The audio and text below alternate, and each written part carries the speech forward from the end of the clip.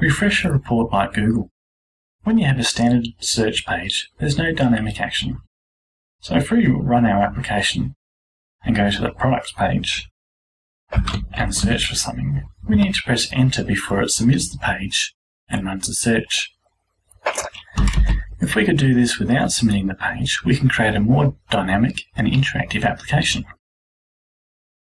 The finished product would be suitable for a point of sale system, similar to Google's auto search. It refreshes the report region after each key press. We'll start by modifying the search to focus on results for the product name and description. So I'm going to modify my source to look for product name and description in the search field if the search is blank.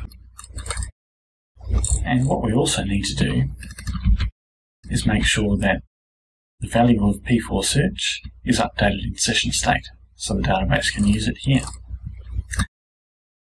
Under the report attributes, also make sure that the enable partial page refresh is set to yes.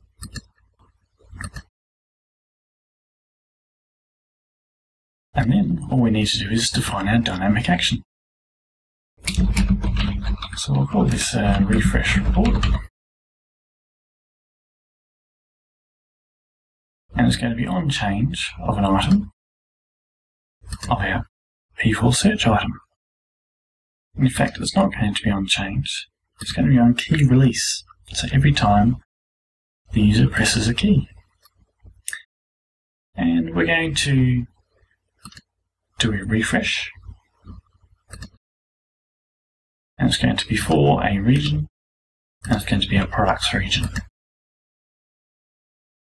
And now we can run our page.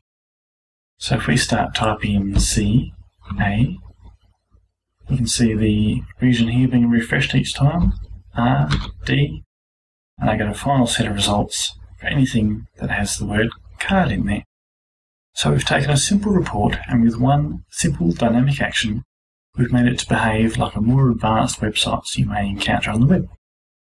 With this, you may see the potential for other types of refresh events. Next, we'll have a look at browser level validation.